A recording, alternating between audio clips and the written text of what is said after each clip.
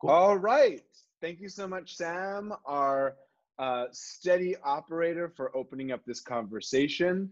Uh, welcome, everyone. For those of you that are tuning in now, my name is Manny Yekutiel, and welcome to Manny's Super Civic Cyber Conversations. Uh, those of you who are tuning in, maybe you know in the Mission District, there's a physical place called Manny's. It's still there. It's on the corner of 16th and Valencia, but we are closed uh, for the shelter in place. And so even though we're physically closed, the work is not over. We still have work to do. And so we've organized this set of digital conversations. Uh, and I'm just so honored that people who are so busy and doing so much are taking time to communicate to the community through our conversations. And today, uh, we are honored to have Supervisor uh, of District 9, Hillary Ronen, joining us. Um, two quick housekeeping things or whatever uh, administrative things. If you'd like to take a picture of your screen and share it on the internet, you can. You can tag Hillary at Hillary Ronen and Manny at Welcome to Manny's. Uh, and also, if you have any questions for Supervisor Ronen, you can just type them into the Q&A at any time. You don't have to wait till the Q&A section. If you have a question, just type it in. We're gonna. This whole program is gonna be 30 minutes uh, or about 25. So that's how long this is gonna take. All right. Can I call you Hillary or no? Of course you can. Okay. All right, great. it would be weird if you called me Miss Ronen or Supervisor Ronen. okay, thank you. Just for the next 25 minutes, I'm going to call you Hillary, if that's okay with you. So, because I've known you now for so long, for so many years, I feel like there's a thing. So, first, I just want to check in with you. Um, we've now been in shelter in place for over a month, I think it is. Um, how is the mission? How is how is your district doing? Because your district is obviously more than just the mission. Tell us what's going on in your district and what are you hearing on the ground? Yeah, my district's having a hard time. Um, uh, uh, you know, I'll, I'll, take it neighborhood by neighborhood. Um, yeah. You know, probably the the neighborhood that that's suffering the most is the Mission. Um, the uh, and the homeless crisis is worse than ever. Uh, that's what I've been spending the majority of my time working on, um, other than you know small businesses. Because man, uh, with so many small businesses, including you and the mission, uh, it, the suffering is, is is enormous. And and what I want to see, I'll start with the business side. What I want to see at the end of this is we, everyone's suffering. Everyone's going to stay alive. Businesses to stay alive during this crisis. Um, we're not only trying to keep human beings alive, but keep businesses alive and, and, and come through this. So um, done a lot of work around that. But in terms of uh, what, what's happening on the streets um, of the mission is that we have the same crisis of homeless people that we were starting to fix again uh, for, with the tent encampments and get people inside and navigation centers and getting them the help they need.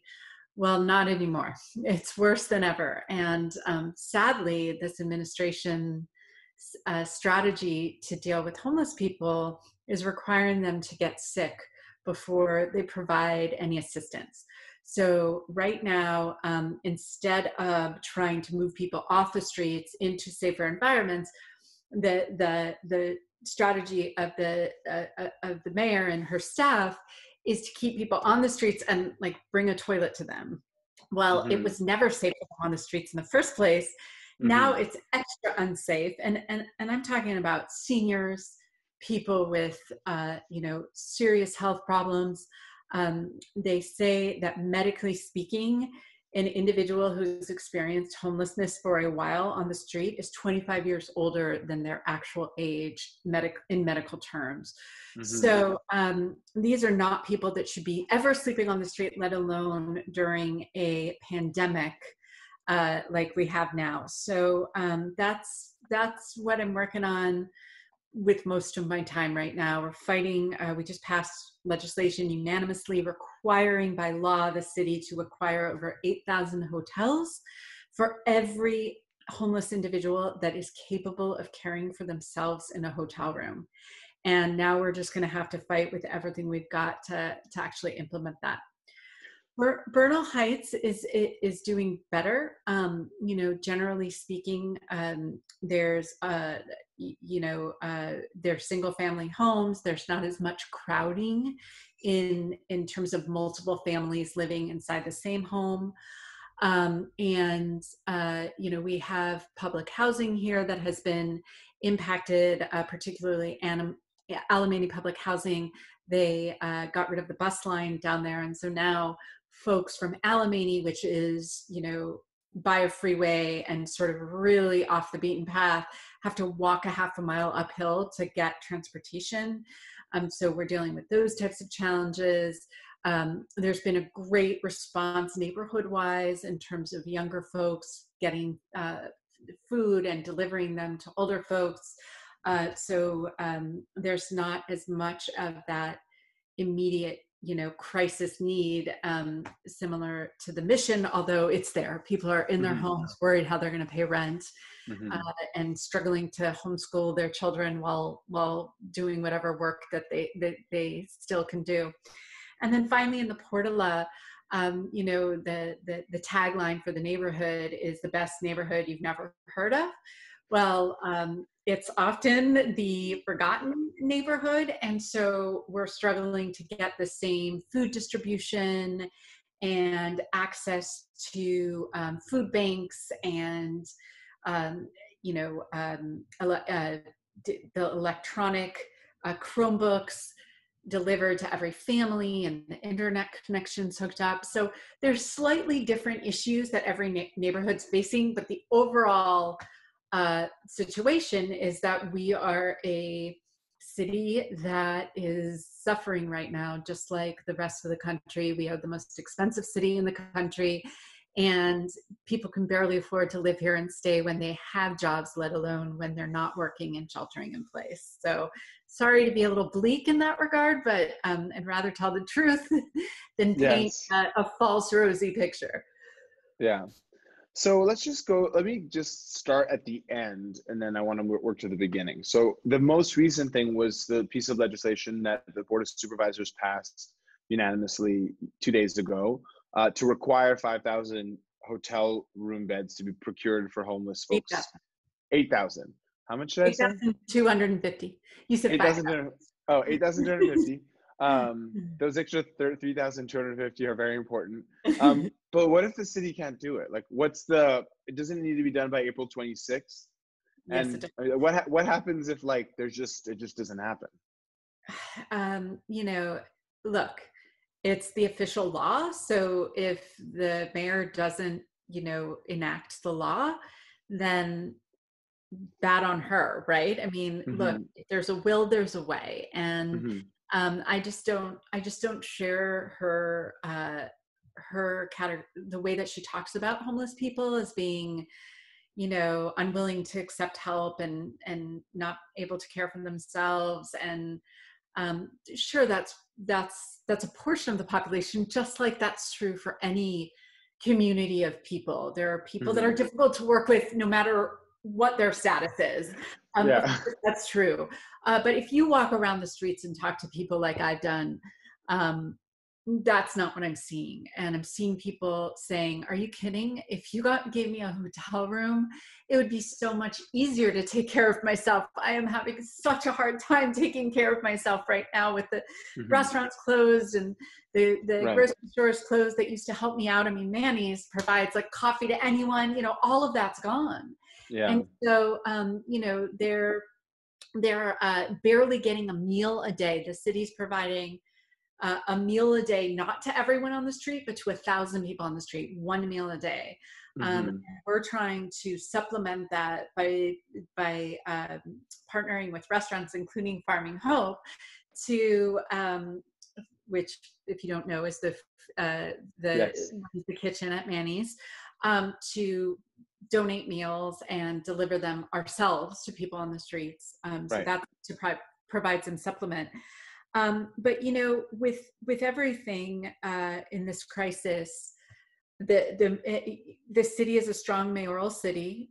She has a ton of power, and under the emergency orders, her powers have quadrupled. So um, we even by passing legislation, it's a last resort. It takes too long. We don't have time for that right now. But after a month of of trying to work behind the scenes and push them towards a rational, humane, moral, and cost effective policy of, of moving people into hotel rooms where they can quarantine as opposed to getting sick on the streets and filling the hotels and using the ventilators. Um, uh, we, we, we didn't have success. So we had to go mm-hmm. public. We had to do this and we're just going to continue to push. And, you know, we'll, we'll keep doing what what supervisors Haney and Peskin did and do it ourselves if mm-hmm. we have to, just like we're delivering food on our own and, mm-hmm. and all of that. Um, but we've got to push her and we've got to push her hard because the excuses just don't cut it. And, and as a matter of fact, for all of the, the limelight we're getting, uh, doing so well, which, you know, we're doing better than many parts of the country. And I do give the mayor a lot of credit for having made that decision to shelter in place early, and she deserves a lot of that credit. Mm-hmm.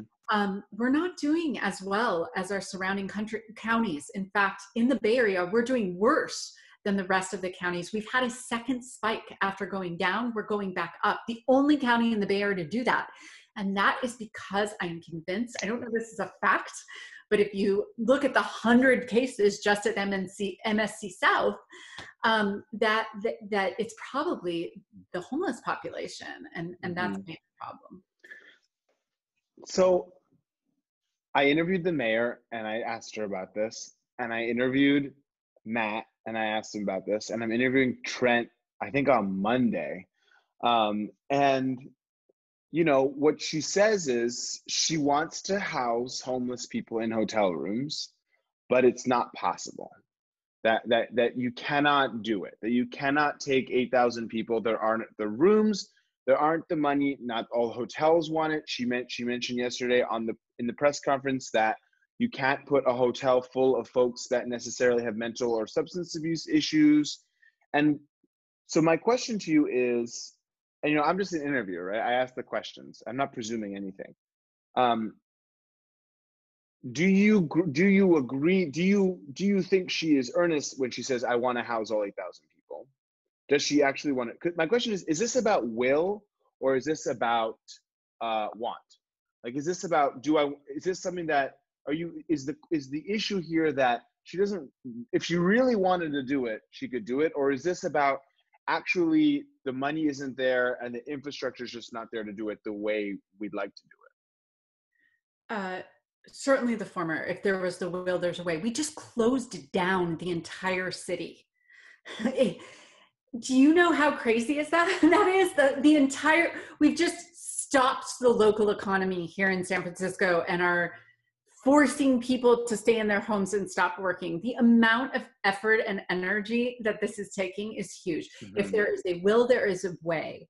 Um, first of all, they spent the first month spending all their time, resources, and energy creating a mass congregate shelter at Moscone West that they're now not using because why aren't they using so, it?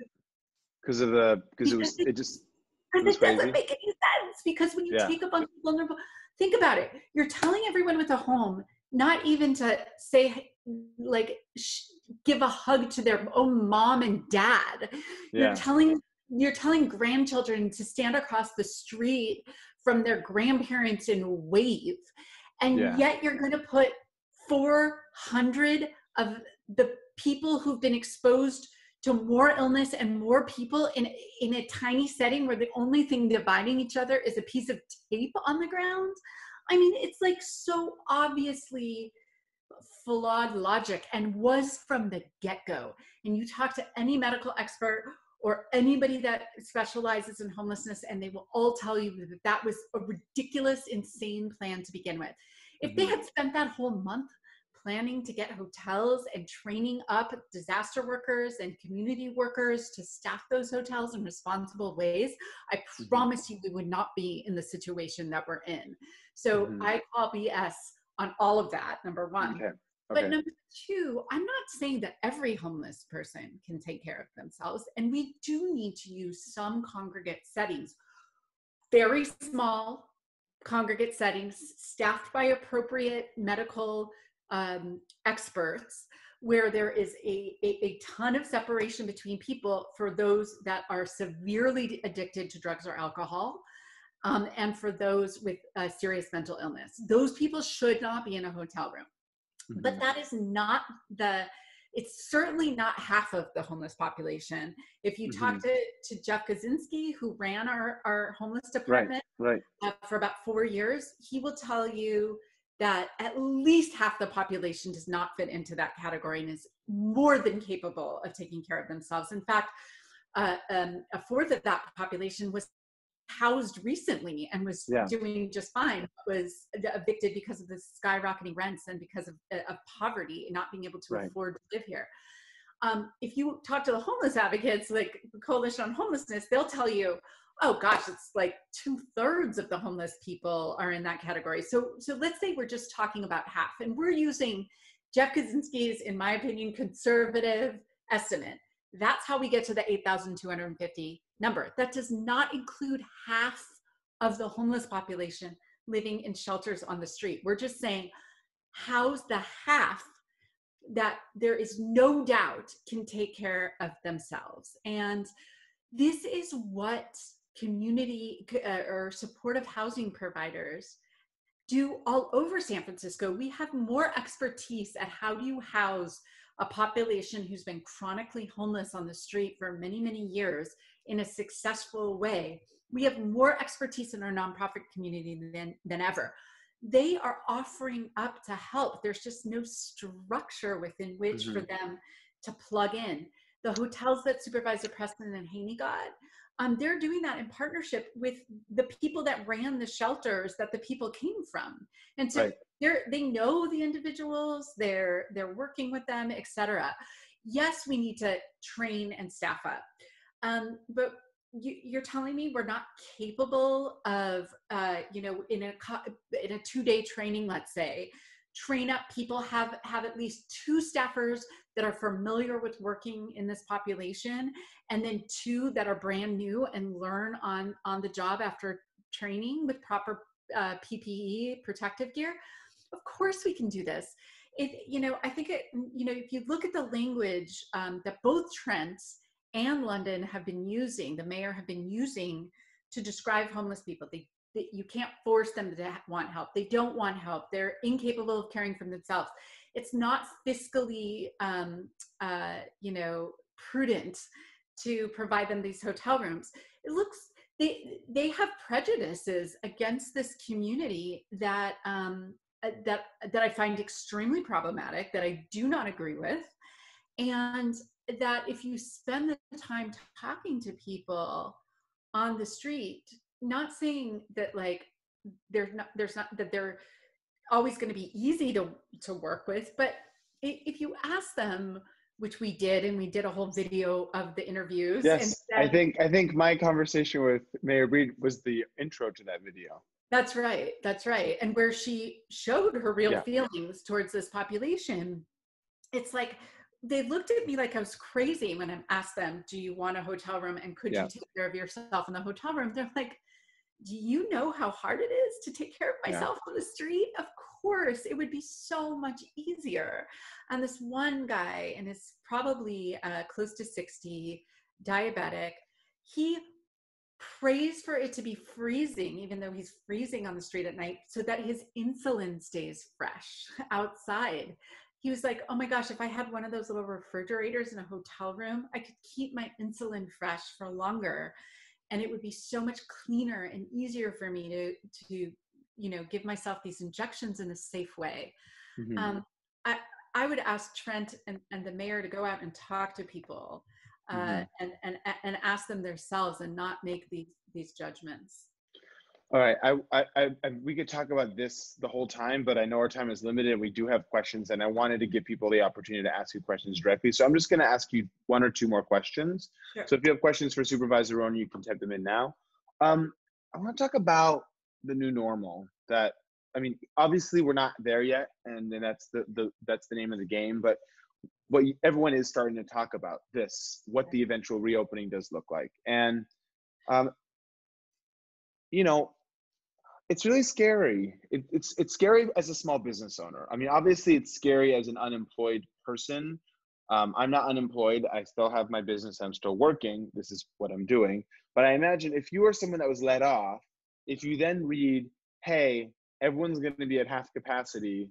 Mm-hmm. we're not sure when we're going to let certain industries open then you're like oh my god like am i going to be unemployed while shelter in place is lifted? Like how's that going to work and then if you're someone like me and you're in the f&b industry or you're in the venue business you're like oh it's hard enough to run a restaurant if at 100% capacity where you're trying to bring everyone in i went into manny's today and i marked out six feet you know, table by table. And I'm like, I'm going to be able to put three tables in my restaurant. You know what I mean? And like, how's that going to work? So, so how do you feel like no one is questioning the public health? No one is saying don't do this, right? But what do you think is going to be the role of the government mm-hmm. in massaging what will likely be a slow, arduous, and uncomfortable roll back to normal? Well, I, you know, one of the biggest things that I'm trying to fight for, and, and sadly don't have the power to do myself at the local level, is uh, rent cancellation and mortgage uh, forbearance, um, where simultaneously uh, banks forgive all the interest and all the fees and all the, um, you know, uh, you know late fees during this crisis maybe extend the mortgage a couple more years or whatever you know or a mm-hmm. couple more months or whatever um, but that nothing's charged and then cancel all the debt that people have accumulated in rent yeah. during this period because what what keeps me up at night is you know fantastic we have this eviction moratorium that's great and fantastic to to supervisor preston for making sure that um, people will have six months to pay any accumulated debt. But as you say, we're not going to go back into our regular life the way we were before. Nobody knows what that's going to look like. And it's going to ebb and flow, is probably most likely, in, in which case, nobody's going to have that stability um, that we need in order to have a vibrant economy again. And so during that period of time, the last thing is I want is people to be saddled with this looming debt that if they're unable to pay will render them homeless at the end of this. I am so worried about that. And so, mm-hmm. you know, Supervisor Haney and I have been working together. We passed in uh, a resolution unanimously calling on the governor and the, the president and the Congress uh, to force a rent forgiveness and mortgage forbearance program on the country, country at large. Mm-hmm. Um, and we organized with local policymakers across the country uh, who are doing that same thing. And we're trying to build a, a, mass movement, basically. We're working more as organizers than politicians uh, because that is the single thing that is going to make the difference between getting getting to jumpstart this economy um, it, you know uh, in a, in a faster more stable way or sending us into the second great depression uh, more so than anything else. And and so i just i we all have to have a mass movement. We have to organize. If we have to you know do a rent and mortgage strike um, and and and all of us, even those of us like myself who are getting paid during this process, just join in in solidarity.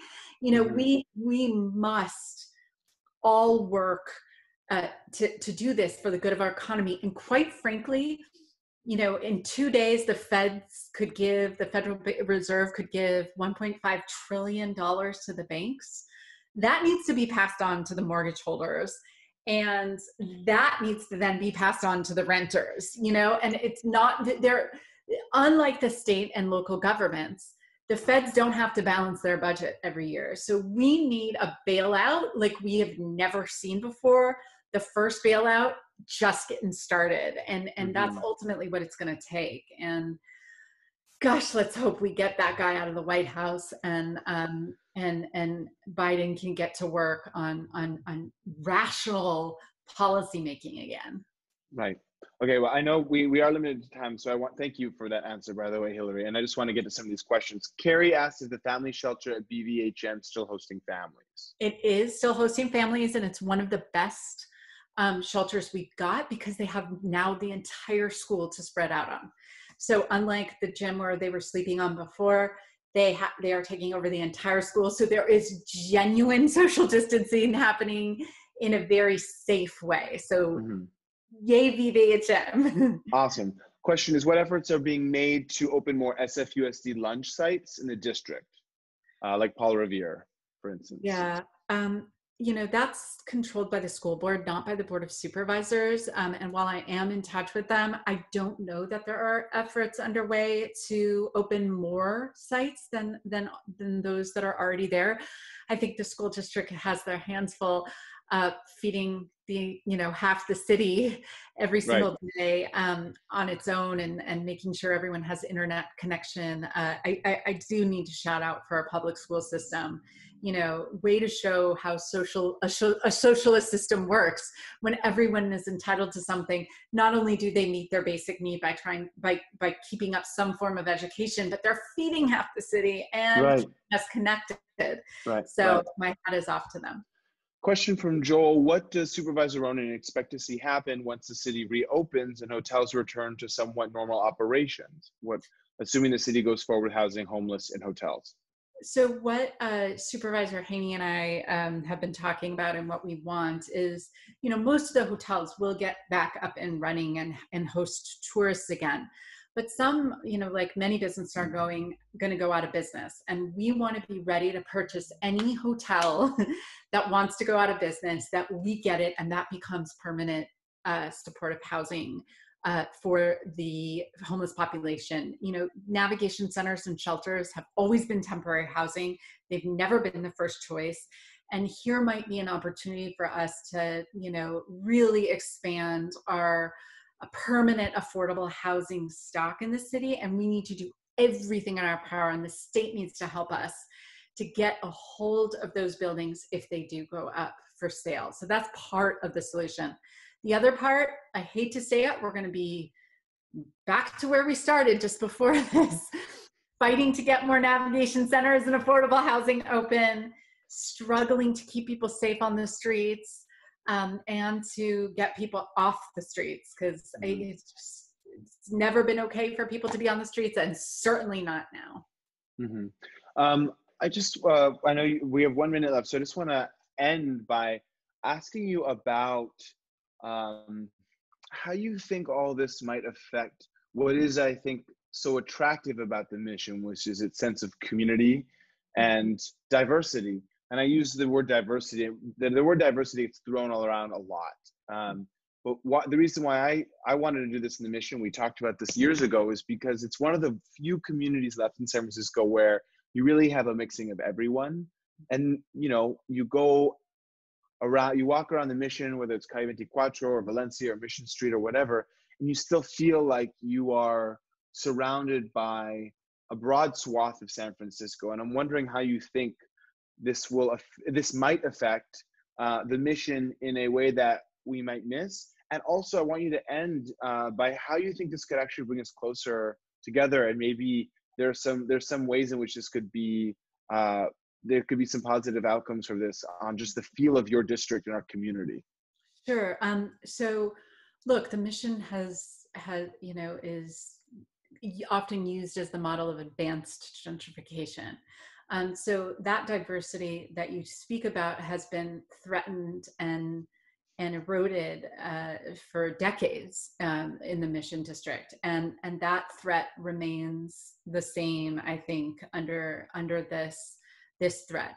Um, the solution to that, and what has always been the solution to that, and why I fight so hard for affordable housing, is because if we don't have either government subsidized or you know uh, privately forced below market housing then it doesn't happen. And so um, you know we're never going to build enough housing in san francisco e- even though we need to build a lot more market rate housing we're never going to build enough to bring prices down to an affordable level. And so we're going to have to have government subsidized housing and if there's one positive that come from this, if this shakes up the housing market to make rental housing cheaper and to, um, you know, place more buildings up for sale, we as a city and as a state and as a federal government need to buy land. we need to buy land as fast as possible so that we can uh, either preserve it for affordable housing or just land bank it for future building of affordable housing. But that's how we're going to maintain the diversity of the mission that we all love so much. Um, and then, I, you know, the, the the hard parts of this are are you know endless and and without saying, but there has been also countless positives. I mean, I don't know about you all. I know my neighbors so much better than I've ever known them. We all go out at eight o'clock and we bang pots and pans and yeah. we bring food to one another. You know, we yeah. leave it on the doorstep and walk away. And um, the the the camaraderie, the way we're helping. We now have a block list. I have everyone's phone number and email on my block now because we're all calling each other to make sure everyone's okay. That sort of self-organized community is, uh, you know, not something we normally see and you know i'm a democratic socialist i believe that um, for basic human needs food housing healthcare education that everyone should be entitled to those things. And and sometimes that thought that that this way of thinking is radical or you know i, I don't i think that that's going to shift a lot in people's mind. I mean for me the most one of the most functional institutions have been our public schools because they have the trust and the access to the widest range of, of people and they're feeding them and they're educating them and they're getting them hooked up to the internet way more than the city's been able to do for for a real wide variety of people i'm a big believer in medicare for all the amount of people that are going to lose their health insurance we're going to see a movement like we've never seen for Medicare for all. So that on a political level, I think is going to be is going to be positive. And then hopefully, hopefully, hopefully, because you know, it wasn't I wasn't a Biden supporter, you know, a few months ago or, or last month. But um, and and the reason, you know, one of the reasons I wasn't a Biden supporter is because I didn't think he could win. Um, I just he wasn't different enough uh, from from Trump to win. Mm-hmm. I think the the failure of Trump to to keep us safe during this crisis and and and oh my just god the, the, his daily actions oh. are gonna are gonna make it so Biden wins, which he has to win. He has to. He, he has to win. He has to. And and and we are going even if he is a corporate Democrat, which I have issues with, he is a person who actually feels and cares about other human beings. He's not a psychopath. he believes in science. he uh, believes in the role of government helping people um, and not just serving the ultra rich. Um, you know, we're going to have a rational, intelligent, thoughtful human being back in the White House. And even though I hope we get someone more progressive in the future, that will be the most welcome change I could possibly think about. And I really think he has a good chance of winning now. So please, please, please, please, please stay tuned. We're going to, you know, make sure oh, voting oh, yeah. is, is safe and, and, and everyone can vote. But please vote for Biden. That's the last thing I will say. Please vote. As, as, the biggest Bernie supporter you're ever going to meet, please vote for Biden. Yeah, Ah, Hillary, well, thank you so much. Thank you for your time. I know you're doing a lot right now, and I really appreciate it. I want to thank everyone for tuning in as well. It's one o'clock on a weekday, and so thank you for participating in your, in your democracy. I also just want to plug Manny's. Like I said, we are shut down. We do need your help. Uh, we are we are making no money right now. This is the only way in which we're bringing folks in, and so if you are willing and able to help support my small business right now, you can go to the link above. It's joinit.org slash o slash. It's also in the chat box. So if you go to the chat box, you can click on the link as well. You can become a sponsor for $36 a month to help us make it through the slow uh, process back to normal, whatever that ends up being, or you can make a one-time donation as well. And I would be remiss if I didn't thank my team here, Jupiter, Sam, and Ram um, for putting this all together. So Jupiter, Sam, and Ram, thank you so much. And Sam, thank you for operating this call. Again, the link is joinit.org slash o slash mannys. Thank you, Hillary, for opening yourself up to your constituents and to the people who've tuned in. Go fight, win, and I hope to bring you into Manny soon. And uh, Yes. And I will just say that I'm ashamed to say that I have not yet become a member, but I'm going to become a member ah! right now. Thank you. I appreciate right it. follow, follow Hillary's lead, everyone. Become a member. Does. Keep Be like, open. be like Supervisor Ronen. All right. Thank you so much, Supervisor. Have a good rest of your day. You too. Bye.